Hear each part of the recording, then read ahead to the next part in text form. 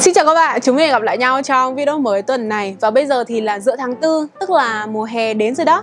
Ừ, Mình, đại diện cho những người rất ghét mùa hè, lý do vì sao mình ghét mùa hè. Thứ nhất là bởi vì nó nóng và thứ hai là bởi vì mình có một làn da hỗn hợp thiên dầu và mình rất là hay trang điểm. Và những ai mà có cái làn da hỗn hợp thiên dầu cũng như là hay trang điểm như mình ý, thì chắc là các bạn cũng hiểu cái lý do vì sao mà mình ghét mùa hè, đúng không? Dù cho trang điểm đến mấy, trang điểm kỹ cho đến mấy thì mình nói thật là cái lớp trang điểm các bạn khi mà đi ra ngoài đường một lát thôi nó cũng không còn đẹp nữa rồi.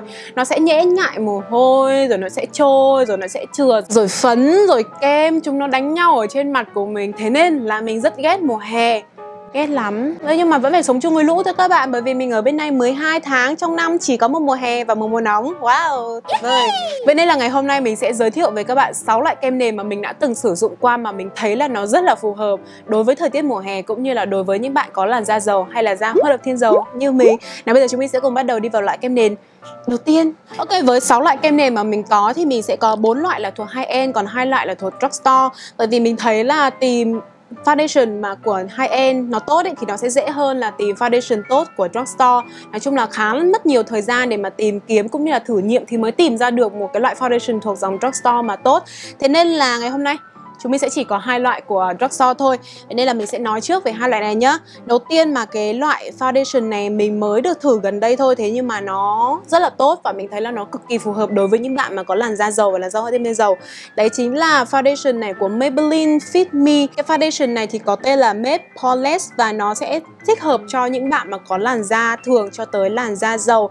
Cộng với cái việc là nó có chỉ số chống nắng là SPF 22 nữa thì mình thấy đây là một cái sản phẩm rất là lý tưởng.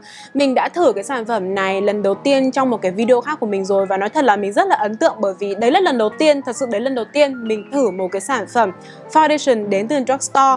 Thế nhưng mà mình thấy khá là hài lòng với cái sản phẩm này. Với mặt mình là một cái mặt nó có rất là nhiều đốm và cái đốm nâu của mình nó cũng rất là đậm nữa. Thế nên là cái việc uh, che phủ đối với mình nó rất là quan trọng. Thế nhưng mà khi mà mình dùng cái sản phẩm này thì mình nhận thấy là nó che phủ đến khoảng 70 đến 80 phần trăm. Nếu như mà chúng mình build up lên thì hoàn toàn có thể che phủ được gần hết luôn nha các bạn. Và một điểm nữa đấy chính là cái khả năng bền màu của nó rất là tốt. À, thường thì tất cả các loại kem nền nào mà chúng mình sử dụng ấy thì nó đều sẽ bị oxidize thôi tức là nó sẽ bị uh, sạm màu đi sau một thời gian mà chúng mình apply kem nền lên trên mặt đúng không? Thế nhưng mà cái kem nền này cho dù nó oxidize đi rồi thì nó cũng không phải là một cái gì đó quá để nói cả nói chung là không đáng kể đâu các bạn. Và điểm cộng thứ ba nữa đấy chính là nó rất là bền ở trên da nha. Tức là cái độ long lasting của nó thì rất là dài á. À, mình có sử dụng cái kem nền này đi chơi này đi làm này cả ngày luôn. Thế nhưng mà khi mà về nhà thì mình nhận thấy là thứ nhất kem nền nó không bị xỉn màu đi quá nhiều. Thứ hai nữa là nó không có bất kỳ một cái hiện tượng giống như là bị bết hay là bị mốc cũng như là bị khô trên mặt. Thế nên là cái độ à, long lasting của nó khá là tốt. Và ngoài ra thì cái này nó sẽ cho các bạn một cái finish để chính là lì rất là lì những bạn nào mà thích trang điểm kiểu lì á, thì đây sẽ là một cái kem nền mà mình nghĩ là nó rất là hợp lý đối với các bạn. Tuy nhiên thì cái này nó cũng sẽ có một số những cái điểm trừ như sau. Thứ nhất thì chính là cái chất của nó rất là nhanh khô. Bởi vì cái chất của nó khá là dày thế nên là một khi nó khô rồi thì các bạn rất là khó để mà có thể tán nó đều trên mặt được. Vậy nên là mình khuyến khích các bạn khi mà sử dụng kem nền này thì chúng mình apply kem nền ở đâu thì hãy tán luôn ở đó rồi sau đó mới chuyển sang những cái vùng khác. Tránh cái trường hợp như là chúng mình bôi kem nền hết lên toàn mặt rồi sau đó mới tán dần tán dần từng từng vị trí một thì nó sẽ bị khô mất nhá. Nó tán rất là khó luôn á. Và một điểm trừ thứ hai nữa thì nó cũng thuộc về cái chất luôn đấy chính là nó rất là dày á các bạn. Thế nên là khi mà chúng mình tán mà kiểu như tán ẩu tán nhanh tán vội ấy, thì cái mặt của chúng mình cảm giác như rất là bí và rất là nặng kem khi mà các bạn tán cái kem nền này thì các bạn hãy bỏ một chút thời gian chăm chỉ tán và tán thật là đều tay vào thì cái lớp kem nền nó mới có thể mỏng được và nó có thể mịn và tệp vào cái làn da được. Không được tán ẩu nha các bạn kem nền thì nhất thiết là không được tán ẩu. Đến loại kem nền thứ hai thì mình sẽ có cái kem nền này của L'Oreal Paris có tên là Infallible 24 Hour Matte Coverage. À nhầm, xin lỗi, cover. Thì cái loại kem nền này mình cũng mới sử dụng thôi và mình thấy khá là ấn tượng bởi vì nó nó như nào nhỉ? Nó mang lại cho mình một kết quả nó trải nghiệm rất là giống những cái sản phẩm uh, trang điểm high end mà mình đã từng dùng qua những cái sản phẩm foundation high end thứ nhất là cái chất kem của nó rất là trơn rất là mượt. Các bạn đã không hề có silicone trong đó thế nhưng mà nó rất là trơn rất là mượt và cực kỳ rất là dễ tán luôn. Điều thứ hai nữa là cái độ che phủ của nó tuyệt vời ông mặt trời luôn. Nó không khác gì so với cái Maybelline này luôn nó che phủ quá là tốt luôn. Ngay từ cái lần tán phấn tán kem nền đầu tiên thì các bạn sẽ thấy là nó có thể che phủ cái khuyết điểm của bạn lên tới 80% nếu như mà nó đậm màu, còn nếu như mà những cái khuyết điểm nó nhạt màu ấy thì hoàn toàn có thể che luôn trong vòng một nốt nhạc rất là tốt. Cái chất kem nền này tuy nhìn là nó có vẻ khá là dày thế nhưng mà rất là dễ tán đó các bạn. Thế nên là khi mà chúng mình build up lên, thứ nhất là nó sẽ không làm da của chúng mình bị bí, bị dày và thứ hai thì là nó tăng cái độ che phủ lên rất là tốt. Nó hoàn toàn có thể che phủ lên tới 100% luôn nha các bạn. Các bạn nhìn thấy là ngày hôm nay mình trang điểm bằng cái kem nền này thì mình đã giữ cái mặt này suốt từ ban sáng. Khi mà mình đi có việc đến bây giờ, khi mà mình quay video cũng phải được 4 5 tiếng rồi. Thì thứ nhất là mình nhận thấy là nó không bị xuống tông và nó không bị trôi phấn nha các bạn. Cái cái cái lớp che phủ của mình nó cũng rất là ok. Và một điểm nữa mà mình thấy là nó cực kỳ cực kỳ hữu ích cho các bạn, đấy chính là nó không bị chán phơ các bạn ạ. Nó hoàn toàn không bị chán phơ, kem nền một chút nào cả.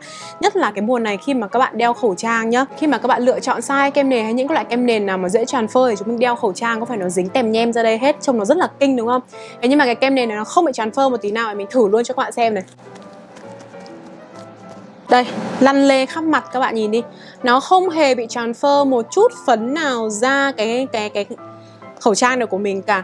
Mặc dù là mình không phủ phấn nhưng các bạn mình trang điểm ngày hôm nay mình không phủ phấn là bởi vì mình thấy là nó cũng khá là ráo mặt rồi nên mình không cần phủ phấn nữa nhưng mà nó không hề tràn phơ một tí nào. Đây là cái kem nền mà mình không có một điểm nào để mình có thể chê về cái chất lượng của nó cả. Nếu như mà cố để chê nhá thì mình sẽ chê về cái packaging thôi vì trông nó không được đẹp cho lắm ý. Thì là hàng drugstore mà người ta sẽ đầu tư nhiều về cái phần chất lượng hơn là cái về cái phần packaging. Nhưng mà vấn đề là nó không sao nó không phải là vấn đề lớn với mình. À, vỏ đẹp vỏ xấu nào là chung quan trọng lên mặt mình đẹp là được. Khi mà mình mua mua, cái này thì nó đang được khuyến mãi 50% ở Watson thì nó còn khoảng 14 đô 90 cent thôi, nói chung là 15 đô, tính ra là khoảng chưa đến 300 nghìn đó các bạn. Thôi với các bạn là với cái thị trường như bây giờ cộng với là cái tiền của chúng mình nó đang bị mất giá dần thì các bạn kiếm đâu ra một cái sản phẩm kem nền tuyệt vời, che phủ được tốt vừa mỏng nhẹ vừa dễ chịu ở trên mặt mà lại còn kiềm dầu tốt mà nó chỉ có mức giá 300 nghìn. Kiếm thật sự rất là khó luôn đó các bạn thế nhưng mà kiếm được cái này nó đúng là báu vật quốc gia luôn đấy các bạn mình thích cái này vô cùng luôn ấy. 300 nghìn quá tuyệt vời. Và cả hai cái kem nền drugstore này thì nó đều có khả năng kiềm dầu rất là tốt nha các bạn. Cả hai cái này thì nó ở trên mặt nó sẽ được khoảng tầm từ 5 đến 6 tiếng thì nó sẽ bắt đầu tiết ra dầu ở những cái vùng mà chúng mình dễ tiết ra dầu thôi Ví dụ như vùng mũi hay vùng trán. Ra một lượng dầu nhẹ tự nhiên thôi đủ làm cho cái da của chúng mình trông nó bóng bóng hơn chứ nó không còn lì nữa. Thế nhưng mà nó không đến mức mà bị nhễ nhại và đặc biệt là nó sẽ không làm trôi cái phấn của các bạn cho dù là các bạn có tiết dầu ra đi chăng nữa. Tiếp theo thì chúng mình sẽ đến với hàng hai n Thì cái loại foundation đầu tiên mà cái loại mà mình thích đắm đuối thích thích mê, thích mệt suốt cả một quãng thời gian 2-3 năm rồi đấy chính là cái kem nền này của Fenty Beauty. Kem nền này nó có tên là Profit Soft Matte Long Wear Foundation. Mình rất là xính của lạ đó các bạn. Thế nên là khi mà mình dùng xong một cái gì đó, mình rất là ít khi mà mình quay lại để mà mình mua lại và mình dùng tiếp. Thế nhưng mà đây là cái loại kem nền đầu tiên mà mình phải mua đến chai thứ ba nha các bạn, chai thứ ba hẳn hoi. Mỗi một cái chai này thì mình sẽ sử dụng nó trong khoảng một năm. Trông nó nhỏ nhỏ này thôi, thế nhưng mà dùng tiết kiệm lắm các bạn ạ. Nó có 32 ml thôi, nhưng mà không hiểu sao dùng rất là tiết kiệm luôn ấy. Cái thời điểm mà mình dùng cái sản phẩm này thì là khoảng 2 năm trước, đó là cái lúc mà mặt mình, những cái đốm nâu hay là những cái khuyết điểm trên mặt mình nó chưa bị đậm màu quá nhiều. Thế nhưng mà trong khoảng 2 năm trở lại đây thì mình thấy là nó chưa đủ đô, bởi vì cái đốm nâu của mình nó kiểu lão hóa các bạn già nhanh á. Thế là nó bị sậm màu hơn, vậy nên là cái độ che phủ cũng không không ok như ngày xưa nữa. Thế nên là cũng lâu lắm rồi, mình cũng chưa sùng hạnh mỹ nhân này. Thế nhưng mà cái kem nền này thì nó lại có một cái điểm mà ăn đứt rất là nhiều những cái loại kem nền mà có thể che phủ cao hơn. Đấy chính là nó rất là mỏng và nhẹ ở trên da các bạn. Và cái độ lì của nó không phải là lì lì đét, mà là nó lì thế nhưng mà nó vẫn có một cái độ óng ánh tự nhiên của cái làn da. Một điểm nữa thì nó được gọi là cái ưu thế của những sản phẩm high end đấy chính là nó có rất là nhiều tông màu cho các bạn lựa chọn. Và đặc biệt là với cái dòng sản phẩm này của Fenty Beauty, cái foundation này của Fenty Beauty thì mình thấy là nó có vô vàn rất là nhiều những cái tông màu cho các loại da, cho các màu da khác nhau luôn nha các bạn. Nó nhiều lắm luôn ấy, từ tông màu da rất sáng cho tới tông màu mà da ngăm, da đen xì cũng có luôn. Thế nên là các bạn rất là dễ để có thể tìm được cái tông màu mà nó match hoàn toàn 100% với cái làn da của các bạn. Nhìn chung thì cái foundation này thì mình đánh giá là nó ở mức độ vừa phải, che phủ vừa phải, mềm nhẹ vừa phải à, kiềm dầu vừa phải. Vấn đề là những bạn nào mà không có quá nhiều những cái vấn đề lằng nhằng ở trên da như kiểu là không có quá nhiều vết thâm hay là da không quá dầu ấy thì đây sẽ là một sản phẩm rất là lý tưởng cho các bạn nhé foundation tiếp theo mình có thì là của Giorgio Armani và nó có tên là Luminous Seal Foundation. Thì nếu như các bạn còn nhớ trong khoảng 5 năm trở lại đây cái kem nền này nó siêu siêu siêu nổi tiếng luôn. Và tất cả mọi người, ai mà đã từng dùng cái foundation này rồi thì ai cũng sẽ khen ngợi nó là nó che phủ tốt này, nó rất là mềm mịn ở trên da này và nó rất là tự nhiên cũng như là nó kiềm dầu rất là tốt. Và đặc biệt là đối với những ai có làn da dầu thì đây là cứu tinh của người ta. Thế nhưng mà khi mà mình dùng nhá thì mình thấy có một số những cái trải nghiệm khác. Nó vẫn rất là tốt nha các bạn, vẫn rất là tốt. Đầu tiên thì phải nói về cái độ che phủ của nó thì cũng không cao cho lắm đâu các bạn ạ, bởi vì cái chất của nó khá là mỏng. Thế nên là khi mà chúng mình build lên một lớp, chúng mình vừa mới apply được một lớp thì cái độ che phủ nó sẽ được khoảng tầm 40 đến 50 phần trăm thôi. Đó là đối với cái làn da mà nó có khá là nhiều khuyết điểm thì nó sẽ được khoảng từ 40 50 phần trăm. Và build thêm một lớp nữa thì nó cũng sẽ chỉ tăng được thêm khoảng 10 phần trăm cho cái lớp trang điểm thôi. Nói chung là cái độ che phủ, cái độ coverage của nó không được cao cao cho lắm và còn về cái độ uh, kiềm dầu của nó thì sao? Thì mình thấy là cũng ok nó sẽ rơi được vào khoảng từ 5 đến 6 tiếng thì bắt đầu da sẽ ra dầu nhiều hơn. Thế nhưng mà cái độ da dầu của nó nó không làm cho cái lớp trang điểm của chúng mình bị bết hay là bị quánh vào với nhau mà trông vẫn đẹp vẫn rất là ok. Thế nhưng mà có một cái điểm mà mình thích nhất của kem nền này mà khiến mình phải cho nó vào trong cái top 6 sản phẩm mà mình nghĩ là nó phù hợp đối với làn da dầu và đặc biệt là với mùa hè đấy chính là nó có một cái chất rất là mỏng mỏng như nước luôn đấy các bạn. Khi mà các bạn apply một cái lớp mỏng trên mặt nhé các bạn sẽ cảm thấy như là chúng mình không bôi một cái gì lên mặt luôn.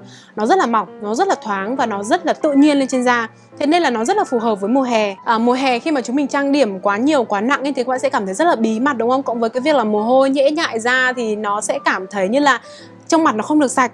Thế nhưng mà cái kem nền này thì nó lại mang cho chúng mình một cảm giác rất là thoải mái trên da nhờ cái chất rất là lỏng của nó. Thế nên là khi mà các bạn trang điểm lên mặt các bạn sẽ đẹp như một giấc mơ. Tiếp theo thì chúng mình sẽ có một cái sản phẩm foundation này của Lancome. Cái này mình mua là mua mini size nha các bạn. Thì uh, mình đã cho cái kem nền này vào trong cái list những sản phẩm mình yêu thích nhất trong năm 2020 Như là bởi vì thật mình rất là thích cái sản phẩm này. Cái che khuyết điểm của nó rất là ok. Tuy là nó không bằng tất cả những cái loại uh, che khuyết điểm uh, Những cái loại foundation mà có cái độ che khuyết điểm rất là cao. Thế nhưng mà cái này đánh giá chung thì nó cũng khá là ok rồi. Và cái chất kem của nó rất là dễ tán cũng như là rất là mượt và nó rất là mỏng rất là thoáng ở trên da. Cái finish của cái foundation này thì nó sẽ hơi nghiêng sang cái dạng soft matte một tí, tức là nó lì, nhưng mà lì rất là nhẹ nhàng và nó vẫn sẽ có một cái độ bóng, nó giữ lại được cái độ bóng tự nhiên của da. Thế nên là khi mà trang điểm lên da cảm thấy da rất là đẹp, rất là thoáng, rất là mỏng, rất là mịn, nói chung là rất là thích.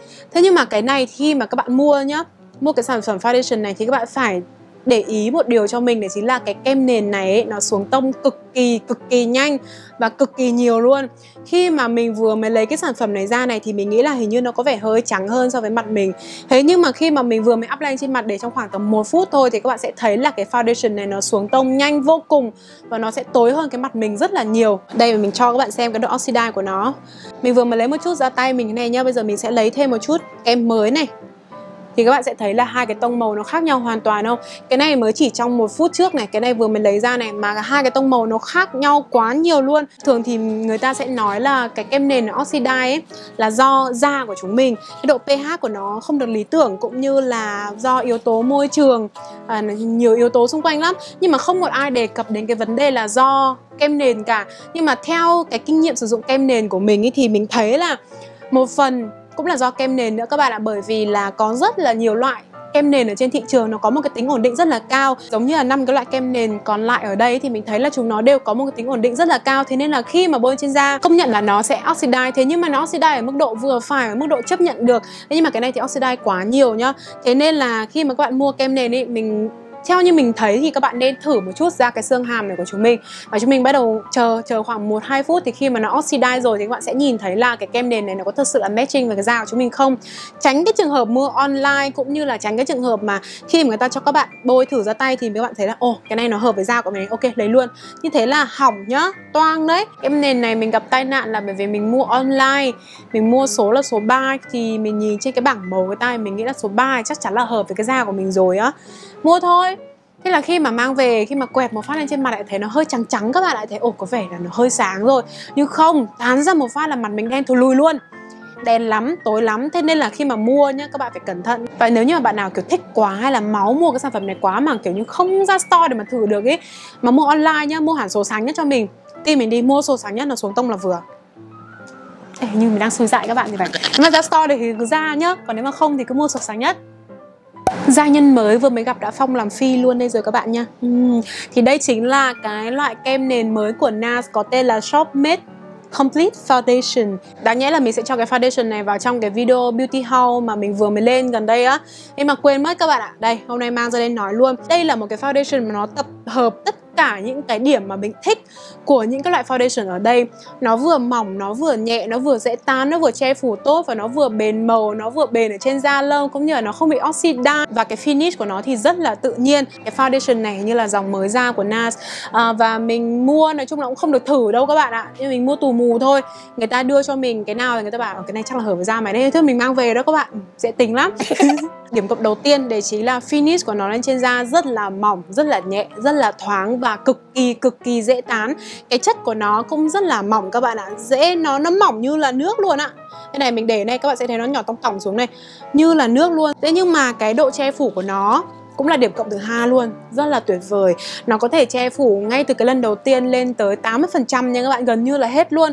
Và build up lên thì nó cũng che phủ tuyệt vời luôn tuyệt đối luôn. À, điểm thứ ba điểm cộng thứ ba nữa thì đấy chính là cái cái cái độ transfer ở trên mặt nó không bị transfer quá nhiều có bị transfer nhưng không bị nhiều và nó không đáng kể đâu các bạn ạ và điểm thứ tư thì là nó không bị xuống tông màu thực ra thì là nó có xuống một chút rất là nhẹ thôi nhưng nếu như các bạn không phải là một người quá tinh ý về cái màu sắc như thế các bạn sẽ không nhìn thấy được là cái độ xuống tông của nó đâu đây như các bạn thấy là cái giọt mình để ở trên tay này nhé là mình đã bơm ra khoảng tầm à, một phút trước hai phút trước này còn cái này là mình mới bơm này đây, các bạn có nhìn thấy hai cái giọt này nó có khác biệt nhau về tông màu không? Không hề khác nhau một chút nào đúng không? Nó không bị xuống tông ấy các bạn ạ. Tất nhiên là cái màu sắc của kem nền thì nó cũng sẽ phụ thuộc vào cái môi trường sống các bạn nữa. Ví dụ như là các bạn sống ở Việt Nam đi, khói bụi rất là nhiều đúng không? Thế nên là chắc chắn là da các bạn sẽ bị xỉn màu rồi. Thế nhưng mà nếu như các bạn chỉ ngồi trong văn phòng này làm việc dưới điều hòa này hay là đi đâu mà có mái che á, rất là sạch á thì mặt của các bạn trang điểm như thế nào tối về easy như vậy tuyệt vời luôn à, để mình nghĩ xem là cái này nó có một điểm trừ nào không nhỉ uh, ờ, à có có điểm trừ nhá. Mặc dù cái packaging nó rất là xinh, đúng không các bạn? Rất là sang chảnh, đúng không? Sặc mùi tiền của cái packaging, đúng không? Thế nhưng mà điểm yếu của nó nằm ở cái nắp này các bạn, cái xoáy lên này. Nó là màu đen nhưng mà, kiểu, nó lì lì và nó, kiểu, trơn trơn ý. Thế nên là khi mà chúng mình dùng kem nền nhá là, rất là dễ bám vân tay là bám cái kem nền ra đây và nó rất là bẩn luôn ý. Mỗi lần mà mình dùng xong là mình sẽ phải lấy tẩy trang này, mình lau sạch cái cái nắp này của mình đi thì nhìn trông nó mới sạch sẽ được. Chứ không thì lúc nào nó cũng sẽ bị tém nhem tém nhem như này các bạn này đó điểm trừ đó. Thế thôi, còn đâu thì về cái chất.